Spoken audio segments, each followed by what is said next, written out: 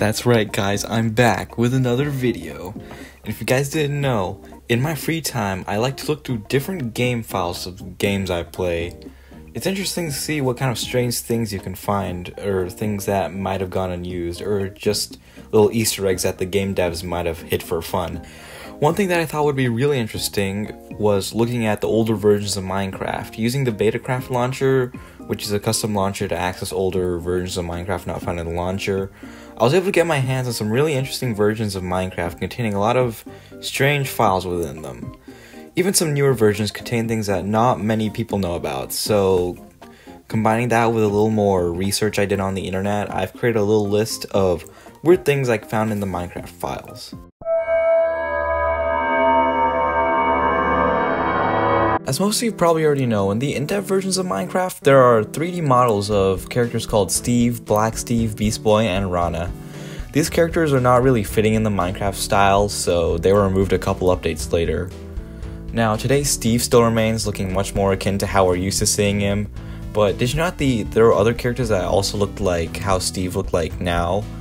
That's right, in the earlier versions of Minecraft Classic, specifically in version 0.0.12 A underscore 01, you can actually find what appears to be an older version of Black Steve, Beast Boy, and Rana, all in the style that we're familiar with. While these textures go unused, they're still in the files, which leads me to believe that maybe Notch was planning adding them as different variants of the Steve character we see in the pre-classic version. The strange part about them is that they appear to just be recolored Steves. For example, Rana is just Steve with red hair and a green shirt instead of having the frog hat that she usually has. So maybe the Steve recolors were just placeholders for the actual textures of the characters, but who knows.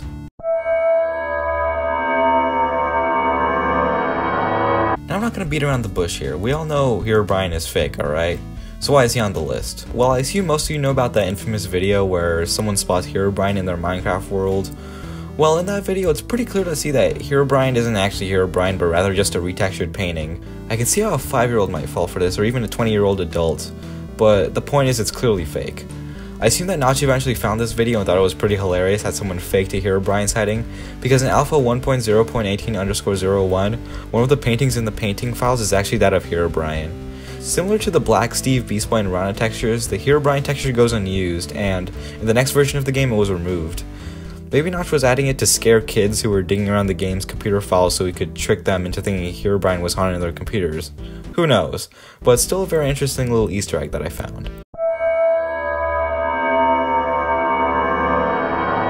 Alright, here we have an interesting fact about the newer versions of the game. In a 1.15 Java snapshot, 19W43A to be exact, one of the sound files was actually an older demo of Pigstep, which wouldn't be officially released until 1.16 in June. Now, the demo version isn't as long compared to the final version, so I'll just play it in its entirety.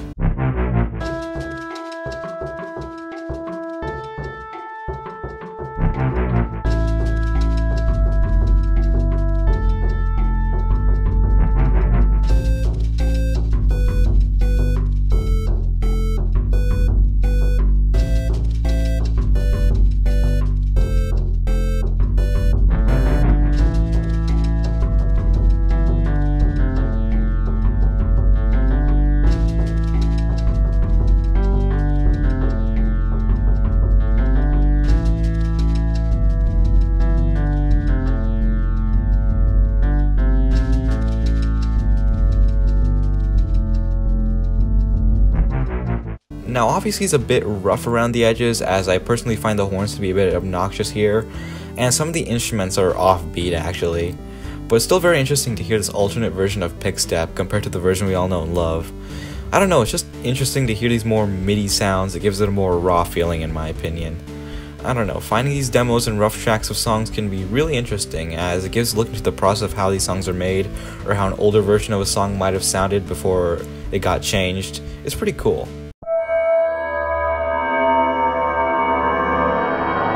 Some of the more interesting things that I found were older versions of the Nether Dimension in Minecraft. In Minecraft InDev, a Hell World theme was created, which was a sort of precursor to the Nether.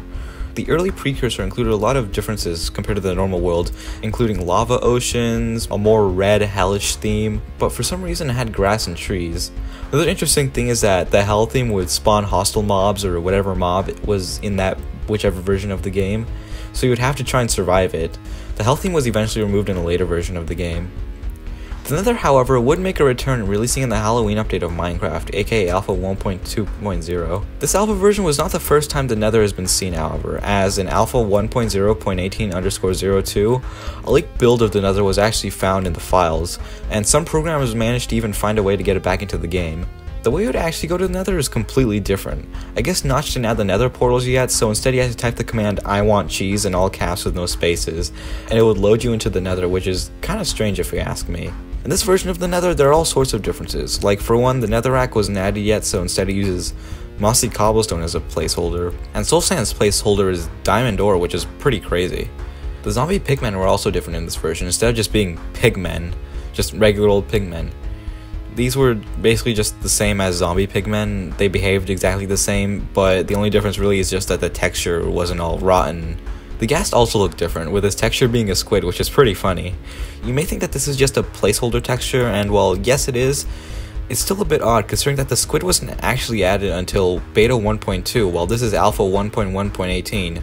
Which leads me to believe that Notch was planning on adding the squids in an earlier version and just use this earlier model of a squid as a ghast instead. So yeah, as you can see, there's a lot of interesting beta features shown in this early version of the Nether. It's pretty interesting to take a look at the process of making these things. You see all these placeholders like the squid ghast or the mossy cobblestone netherrack. It's really fascinating.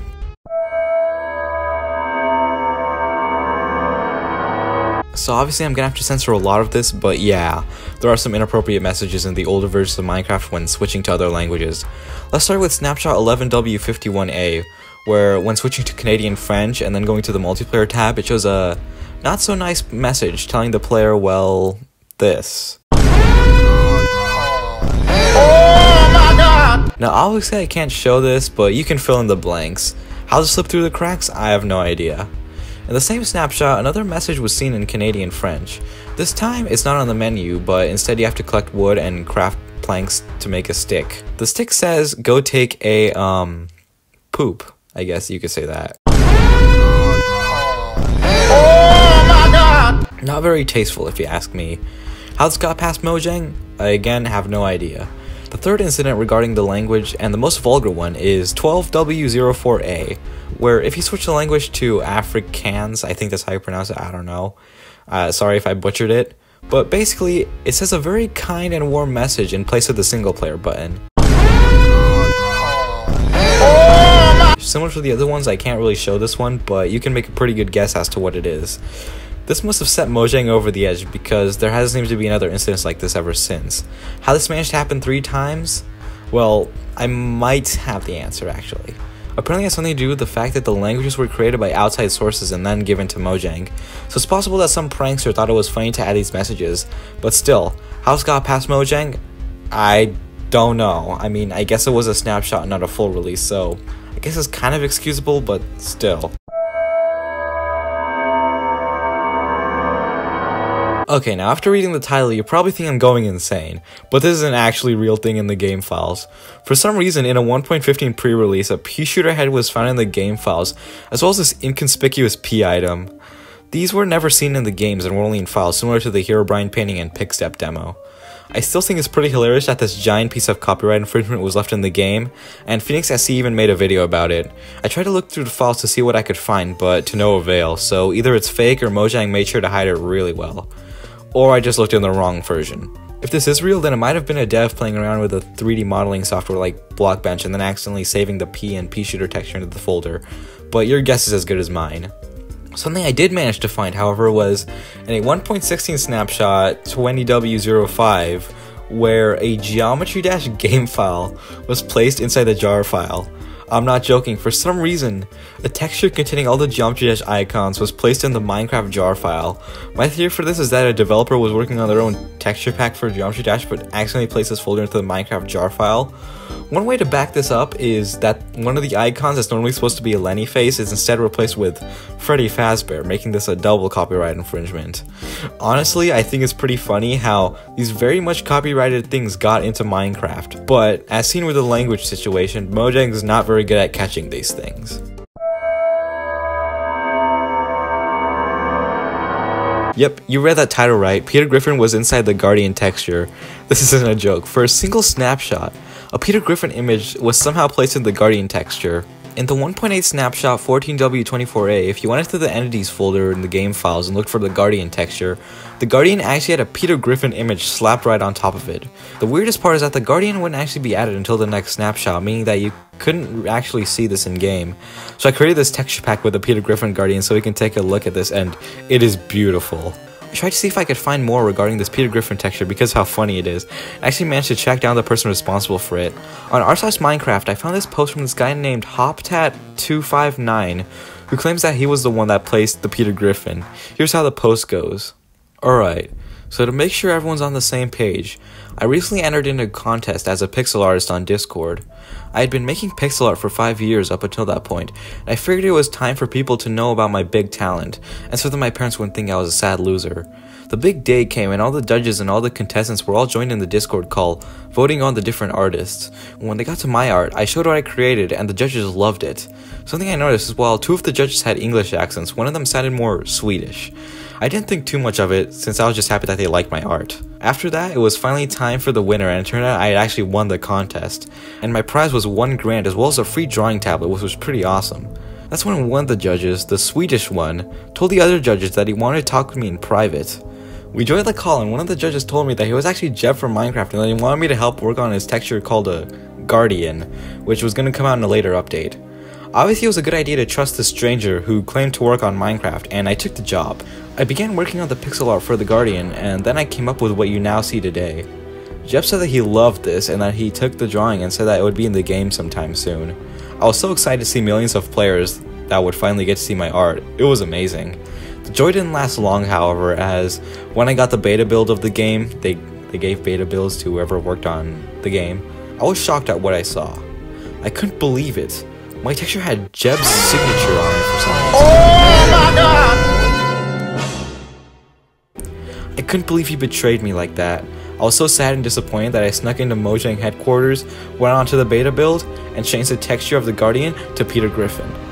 I guess the devs must not have seen this change, so they released a snapshot as is with Peter Griffin on the Guardian, and that's pretty much how things went down. Now, as you can see, that was a very long Reddit post, and turns out that Jeb actually took credit for Hoptat's design, which is really mean in my opinion. If I were Hoptat, I would have probably also put a Peter Griffin onto the Guardian, but that's just me. It's honestly so sad knowing that Hoptat wasn't credited for his work on The Guardian. Just goes to show you what a crazy world we live in where Peter Griffin on a Minecraft mob was all because of a top 10 anime betrayal from Jeb. This is very disappointing and I'll no longer be supporting Jeb after hearing this.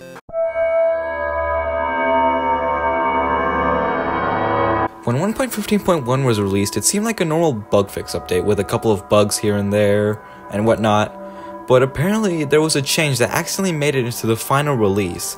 Since nobody would ever listen to Disc 11 in their right minds, nobody caught the fact that Disc 11 had actually been altered in 1.15.1 pre-release 1. Instead of playing the usual creepy sound that it plays, it instead played this strange buzzing noise. I'm gonna play the noise, but it's a bit loud so you might want to turn the volume down.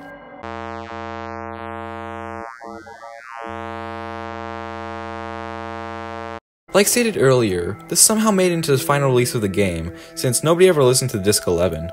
I tried to find more info on this, but of course, since nobody listens to Disc 11, I couldn't find any Reddit posts about it, or any articles on it, or anything like that. But luckily, it did get fixed in 1.15.2 pre-release 1, as seen on the official Minecraft wiki, but it's still odd that it somehow managed to make it into the full game and not just a snapshot. Regarding the disc noise itself, I tried to find out what this buzzing noise was. It was quite loud and ear grating, so I wanted to see if I could hear it more clearly if I turned it up. Sadly, I didn't hear anything out of the ordinary. I then tried to reverse it to see if there was maybe a secret message, but nothing happened either. That's when I realized something. You see, when you put a sound through a spectrogram, it can sometimes create an image.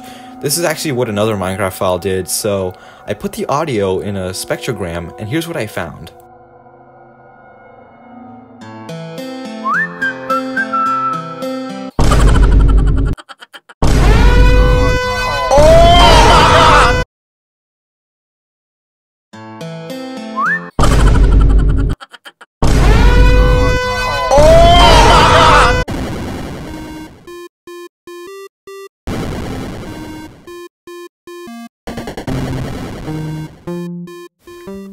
Hey guys, so um yeah, pretty much everything on that video was fake. It wasn't real at all. It was just it was just a fake video. It was ironic. So hopefully you didn't get fooled by any of these and even if you did, hopefully you just you still found it funny and you realized as the video went on because I made it so that it got more absurd as it went on. So hopefully you caught on to that by like the Peter Griffin texture one because that that one was pretty obvious. You could tell that was obviously a joke, but anyway, yeah, I had fun making this video. Hopefully, you didn't get too invested into it because no, most of it's not real. Some of it like is real, but it's just I just built a lie off of that real fact.